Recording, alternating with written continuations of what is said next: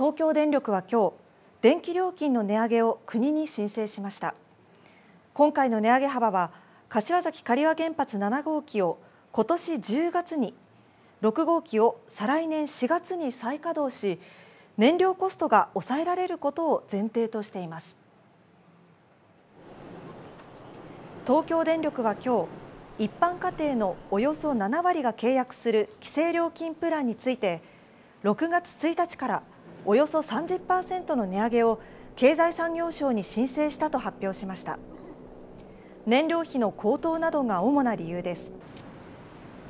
東京電力は2023年からの3年間を原価算定期間と位置づけその期間にかかる費用などをもとに電気料金の見直しを行いました。今回の値上げは原価を最低限減らす観点から柏崎刈羽原発7号機を今年10月に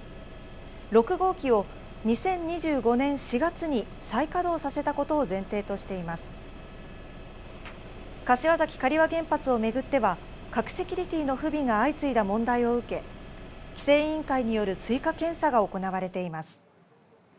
今年3月をめどに一定の結論を出す見通しで事実上の運転禁止を命じた行政処分を解除するかどうかが焦点となります。